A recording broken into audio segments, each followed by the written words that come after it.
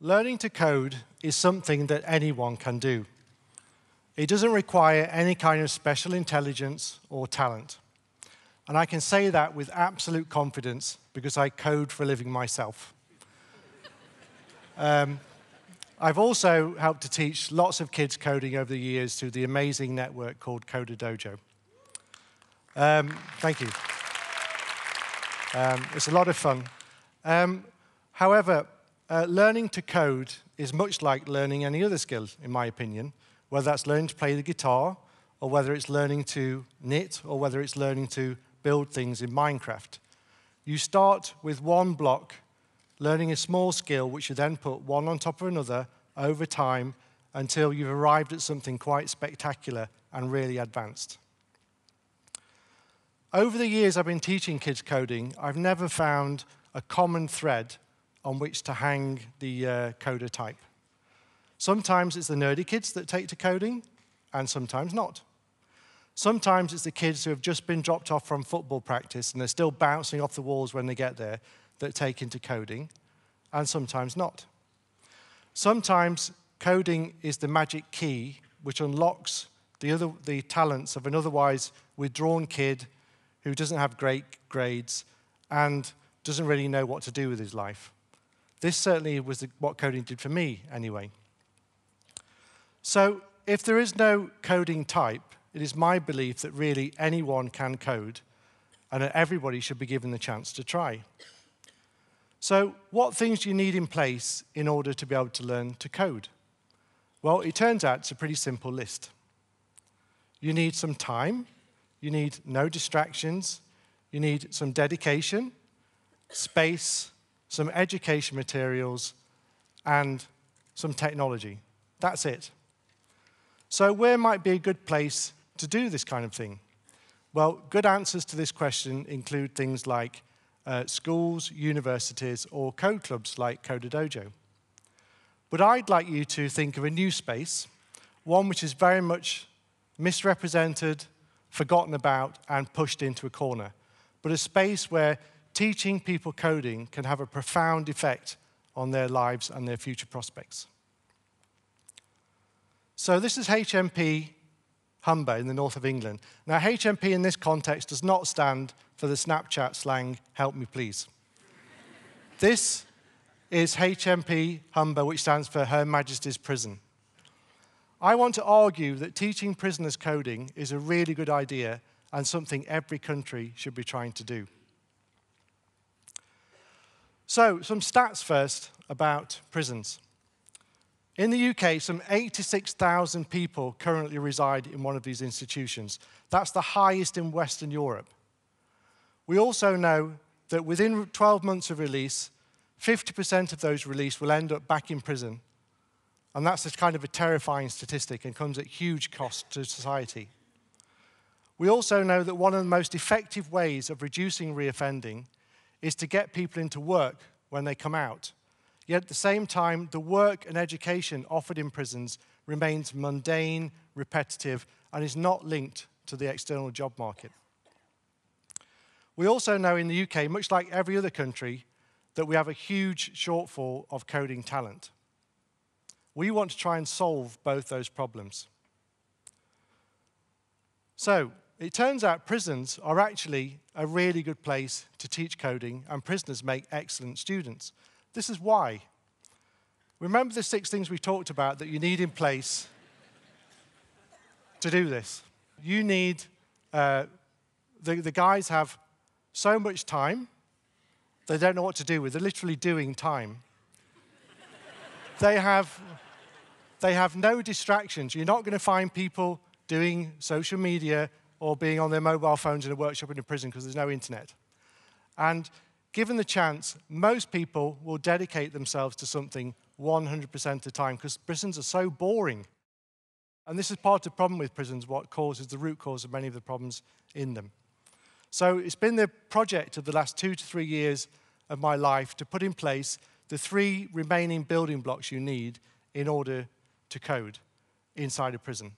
And that's by providing a space, by providing the education materials and by providing the technology they need to get going.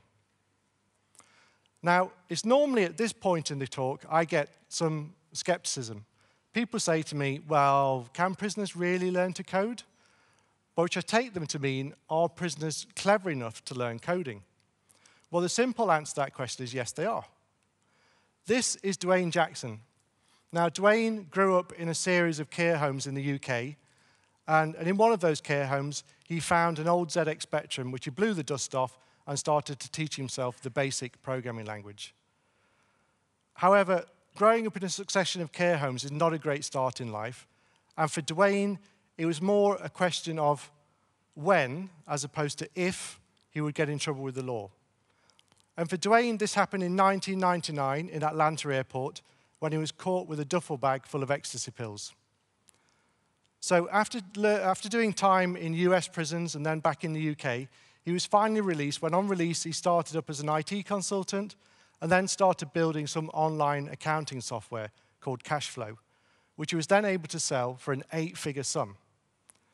This is not bad for an ex offender with very few qualifications. And I'm very happy to say that Dwayne is now helping us to recruit prisoners and ex offenders into the coding project. But it turns out that coding has several other uh, great possibilities for prisoners. First of all, coding has an extremely low barrier to entry. So many jobs that might be interested in saying which university you went to, who you know, what grades you got, people who are hiring coders are typically interested in one thing can you code? Secondly, the, the, coding community is fantastic. It's a global network where you can work on some of the best platforms, have the best tools, some of the best forums, all for free or for next to nothing. And I can think of no other profession in the world where you get quite so much help from your fellow coders as in coding. And they're literally falling over each other to help you out on your coding problems. The third thing is that it has extremely low startup costs. So today, armed with a $200 laptop and an internet connection, you can basically play in the same ballpark as the big players like Facebook and Google, and your startup costs are less than that of a window cleaner. So it seems like coding is a great idea, but where did this concept come from? Well, about three years ago, an email dropped into my inbox and it was about this project. It's called The Last Mile, which is, runs out of San Quentin Prison in California. It's been teaching prisoners coding for a few years, and they've seen some phenomenal success. They've gone from a 70% recidivism rate to zero. Nobody who's been on this program has gone on to reoffend. That's fantastic. So I was immediately hooked and thought, this is a brilliant idea. I wonder if I can volunteer for a similar project in the UK or maybe in Sweden. But after some initial research, it became immediately apparent that there were no other projects around. There was one project in San Quentin, and then there was another project in South Africa called Brothers for All. So I faced a bit of a dilemma, and I was thinking, well, either I give up or I try and start a project on my own. The problem was, I knew absolutely nothing about prisons. I'd never been to a prison.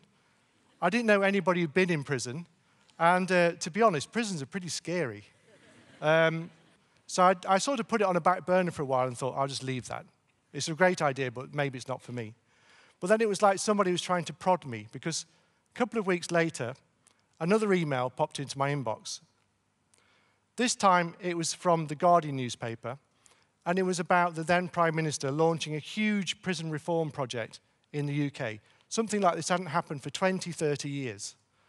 They wanted to talk about new education possibilities in prison and getting people into jobs. And I thought, this is too good an opportunity to miss. So, through a friend of a friend of a friend, I managed to reach out to the then Director of Strategy at the Ministry of Justice in London.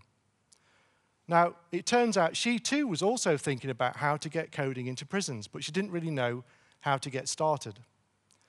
So we put our heads together and got a workshop set up in London, invited over the great and the good, and also brought over the last mile to help us get going.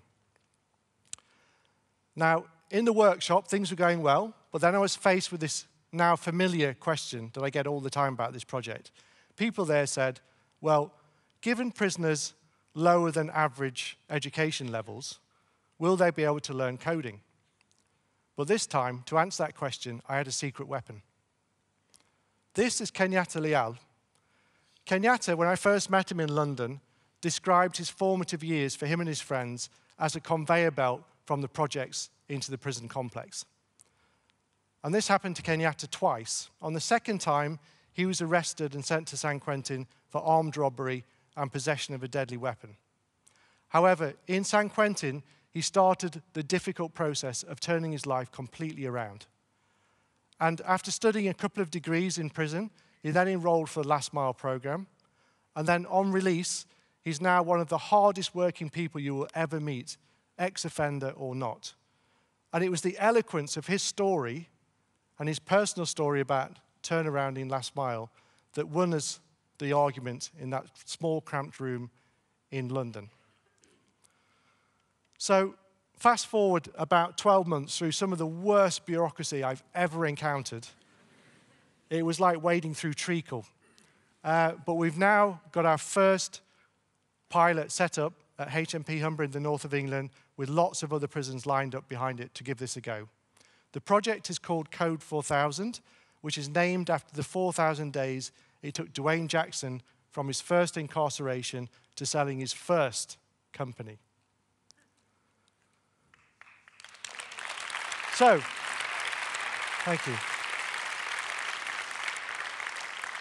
So, even though we've only been going about 12 months, we've already got our first graduates coming through the door. This is Ash. Now, before Code 4000, Ash was in and out of jail constantly for violent behavior, antisocial, not a great guy to be around. However, since Code 4000, he's completely turned his life around and he's found something in coding that he really enjoys and has become really good at.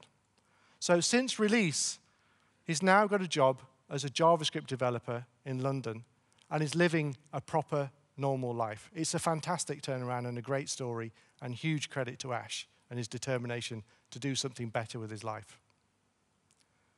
So, at Code 4000, we do this for three simple reasons. The first reason is it's huge fun. It's great fun to see people's lives turn around 180 degrees like that. Secondly, we do it because it works. People who go through this project and then go into jobs are able to return to normal society and contribute society in a positive way. Thirdly, because it unlocks the talents of some of the most marginalized people in society. And if we can't just keep putting them in the cycle of going in and out of prison, we have to do something about that. But learning, teaching coding in prison is a really difficult thing to do. For a start, there's no internet.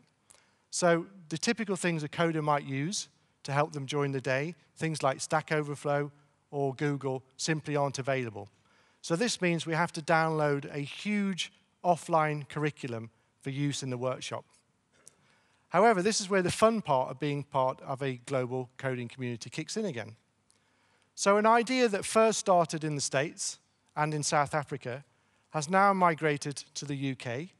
And with our help, we're trying to set up some similar projects in France and Australia. And we've just learned about an amazing project in Kenya, which is teaching coding to female prisoners with huge success. So this means at this moment in time, there are more projects teaching prisoners coding in prisons in Africa than there are in Europe. That's fantastic. We want to color this map, basically. So the idea is simple it's to bring one of the 21st century's most vibrant skills to one of the most marginalized groups in society. And we do that because we simply believe anyone can code and everyone should have the right to try. Thank you. Thank you.